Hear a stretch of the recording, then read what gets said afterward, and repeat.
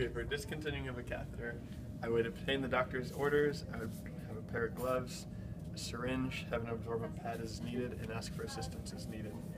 I would come into the room, provide privacy as I've done, have the bed raised to a working height, and have the side rail down. I would, inform, I would ID the patient, ask them for their name, date of birth, and verify it on their wristband, and ask if they have any questions about the procedure. It's going to take a minute and be done.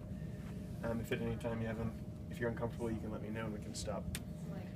From there, I would wash my hands and apply my, put on my clean gloves.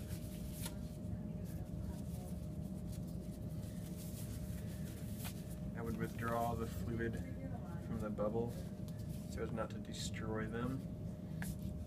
Once that is removed, I then pinch the catheter pull it out, wrapping it in the absorbent bag. I would have unhooked the strap that should have been there, but I couldn't fit today. And then I wrap the catheter up. I would measure and record any urine in the bag. Throw that away. From there, I get the patient comfortable again. Um, cleanse the perineum as necessary, and be on my way.